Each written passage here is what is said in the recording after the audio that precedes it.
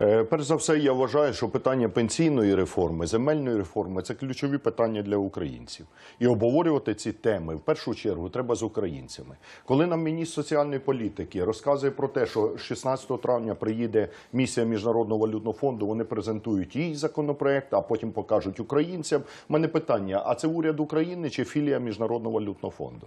Ми з повагою ставимося до наших міжнародних партнерів. Зрозуміло, що вони кредитують нас і виставляють якісь умови. Але пенсійна реформа робиться, повинна робитися не для міжнародного валютного фонду, а для українців. І ключове, е, е, яка мета? Давайте для того, щоб зрозуміти, якою буде реформа, да, і чи будемо ми за неї голосувати, треба в першу чергу визначити мету. В чому полягає мета пенсійної реформи? Лише в підвищенні чи страхового стажу, чи в підвищенні пенсійного віку для того, щоб покрити дефіцит бюджету пенсійного фонду, який сьогодні 150 мільярдів.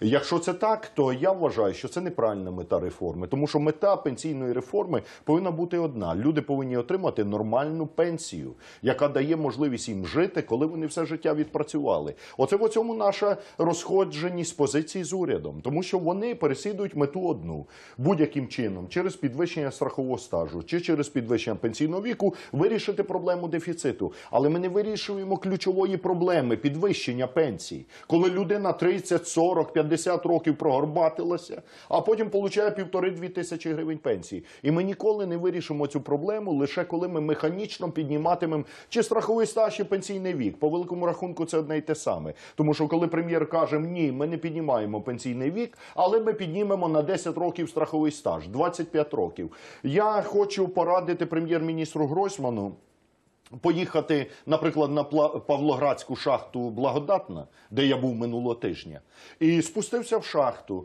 Глибина 325 метрів. Е, висота пласта, в якому я був, так я там був е, 15 хвилин. А шахтарі там роками видобуваєте вугілля. Глибина пласта 60 сантиметрів. І стоїть цей шахтар по 6 годин на зміну, на карачках, на руках, на ногах, а часто й лежить для того, щоб видобути те вугілля. Уявіть собі, людині треба 25 років пролежати в тій шахті, щоб отримати мінімальну пенсію. Або, наприклад, металурги. Позавчора я був у Маріуполі в конверторному цеху, де металурги е, льють сталь. От уявіть собі людину при сотнях тисячах градусів температур, щоб вона 25 років простояла і лила сталь. У неї при радянській владі ж не даремно стаж був для жінок на шкідливих виробництвах 8 років, для чоловіків 10 років. Тому що ти, коли рачки простоїш у шахті, так а в тій шахті, де ми були, там води немає. А є шахти, де затоплено, і ти по коліна в воді стоїш. І там сквозняки постійні, тому що треба нагнітати повітря, це щоб не було взриву метану. І ти постійно на сквозняках. А сквозняки це букет хвороб, радикуліти, геморої і вся інша прелість. І от хтось каже, що шахтар повинен 25 років простояти на тих сквозняках, щоб отримати 2000 пенсії чи біля Мартена. Він фізично цього не простоїть. Тому це я до того, що насправді підвищення страхового стажу це не вирішення проблеми. Яким чином ми бачимо е, взагалі цю пенсійну реформу? Чи треба О, проводити? це цікаво. Так. Чи треба проводити пенсійну реформу? Так, треба. Я думаю, що це очевидно для кожного українця. Тому що так жити не можна. Коли людина прогорбатилась і отримує копійчану пенсію, якої не вистачає на ліки. І ми повинні добиватися, щоб були безплатні ліки, бо пенсіонер не може купити ті ліки на свою пенсію. Він повинен отримувати таку пенсію, коли він пропрацював, щоб і ліки, і комуналка, і дітям конфети купити і так далі. Е, перше, що ми вважаємо, ключове, що неправильно робить влада, це кулуарна підготовка законопроекту про так звану пенсійну реформу. Якщо ви хочете, це має бути загальнонаціональний консенсус. Влада повинна робити не кулуарно в кулуарах Міжнародного валютного фонду чи в кулуарах уряду цей проект реформи. Це повинно робитися за участю е, за якнайширшого обговорення профспілки, роботодавці, представники різних політичних сил, фракцій. Е, збирайте круглий сіл. Робіть цю реформу для українців, розкрийте всі карти, покажіть. Ось проблеми, шановні українці. От якби я був на місці прем'єра, я б всіх би зібрав, сказав, друзі, Опозиція, влада, мені байдуже, тому що ті, хто сьогодні в опозиції, завтра будуть при владі. І у вас будуть ті ж самі проблеми із виплатою пенсій. І чим далі е, затягувати вирішення цієї проблеми, тим гірше буде. Тому що в нас ключова проблема полягає в тому, що з 20 мільйонів працездатних українців легально працює тільки 10 мільйонів. А податки платять 4 мільйони українців. І це означає, що скоро на одного працюючого, помните, як в Салтикова Щедрина, на одного із сошкою, семеро з ложкою. Отак у нас буде з пенсійною Ми це реформою. питання ставили, Олеже Валерійовичу. От ми ж думаєте, ну це дуже логічно. Ми ставили це питання а, і прем'єру, і міністру профільному, і отримали відповідь, що ми це не обговорюємо зараз з журналістами з загалом з громадянським суспільством, з експертним середовищем, тому що пропрацьовуємо все до найменших деталей. Це має бути пропрацьовано.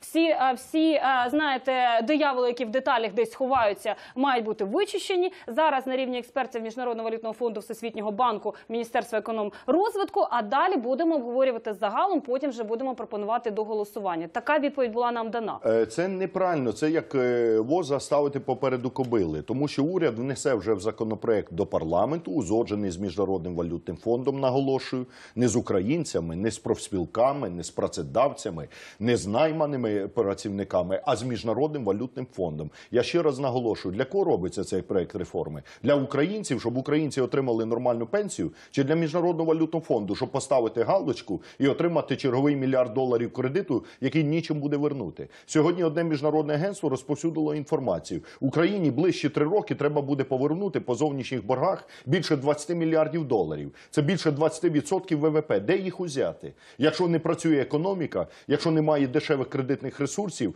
якщо немає нових робочих місць для українців. Тому замість того, щоб торгувати землею, пенсійним віком чи державною власністю, треба радикально міняти економічну політику, грошово-кредитну політику і податкову політику, ставку на інновації, на національного виробника, масштабна модернізація основних промислових фондів.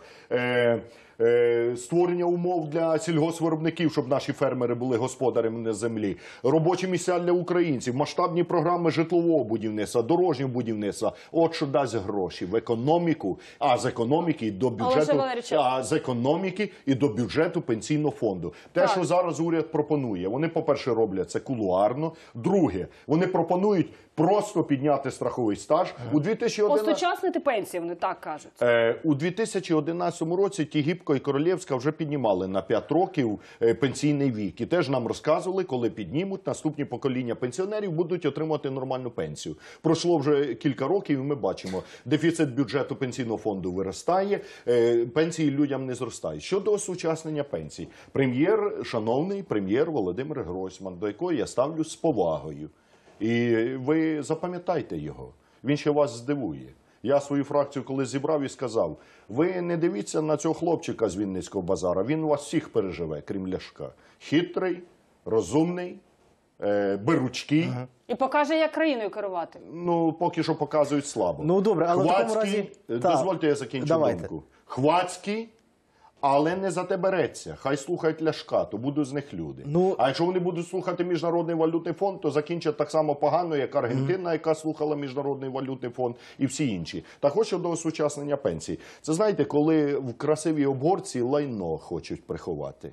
Так от розказують про сучаснення пенсій, про підвищення пенсії з жовтня. Пенсії можна підняти не з жовтня, пенсії можна підняти з 1 червня. Тому що в результаті підвищення е, вдвічі мінімальної зарплати у нас додаткові надходження до бюджету пенсійного фонду за е, ці місяці більше 10 мільярдів гривень.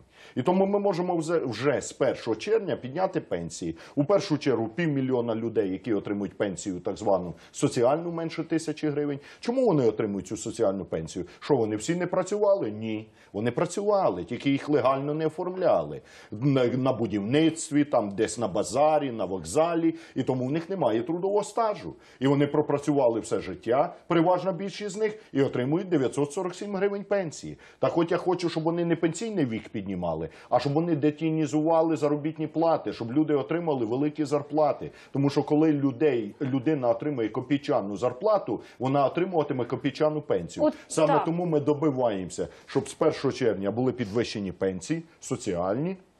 Щоб були перераховані пенсії для людей з великим трудовим стажем, тому що в нас сьогодні ще одна величезна проблема в пенсійному забезпеченні це сплошна уравніловка, коли незалежно від того, хто працював, хто не працював, однаково отримує пенсію. І третя ключова вимога це знову підвищення мінімальної зарплати, тому що ми під добилися вдвічі підвищення мінімалки з нового року. 3200 – це краще ніж півтори тисячі гривень, як було до нового року, але 3200 – це все одно мало. Ми вважаємо, що мінімальна зарплата сьогодні повинна бути хоча б 5 тисяч гривень. І от коли мільйони людей, я наголошую, 4 мільйони українців отримують мінімальну зарплату, а багато людей переведені на півставки, на четверть ставки, на неповний робочий тиждень, щоб не платити людям зарплату. І тому я вважаю, що ключове у пенсійній реформі це збільшення пенсій. Пенсії можна збільшити за е, рахунок тільки збільшення зарплат, детінізації економіки, а не підвищення пенсійного віку. Тому що в нас середня тривалість життя 63 роки,